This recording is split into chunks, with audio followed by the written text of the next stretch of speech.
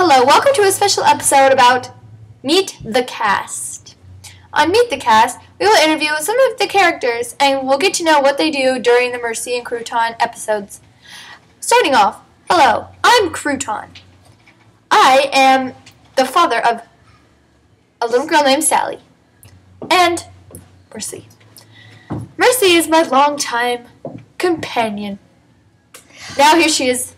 Um, hi, my name is Mickey. I'm the I'm I play Mercy in our series. Uh, Mercy's a girl. She has a lot of. Uh, she sometimes she can have issues. Sometimes she can be fun. She loved Crouton for such a long time. So and then Crouton, well, he's like Mercy's husband. And now we have to introduce our next character. I'm Andrea, and I play as Sally, the um,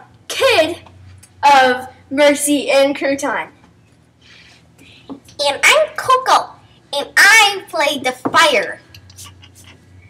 I'm the one who squirts it, and I'm the one who destroys their habitat. Let's go. And everyone with the cast, please bow. I hope you continue to I hope you continue to watch the Mercy and Crouton series. Thank you for watching. Goodbye. Sally has an